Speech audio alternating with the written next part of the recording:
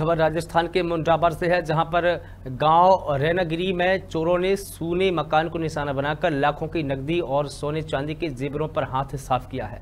पीड़ित राजकुमार ने बताया कि करीब सुबह पाँच बजे परिजन पुराने घर में मवेशियों को चारा डालने गए थे। उसी दौरान नए घर को चोरों ने अलमारी का ताला तोड़कर लाखों रुपए से ज़्यादा की नकदी और सात तौले की सोने चांदी की आभूषण लेकर फरार हो गए। घटना की जानकारी पुलिस को दी गई है। पुलिस मामले की जाँच पड़ताल कर रही है।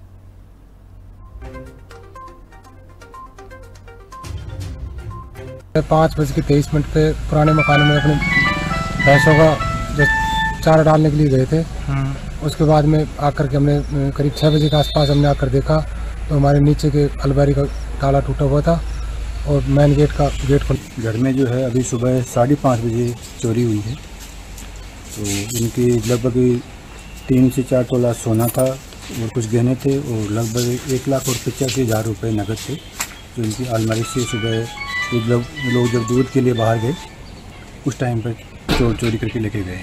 हैं आपने यहाँ मामला देख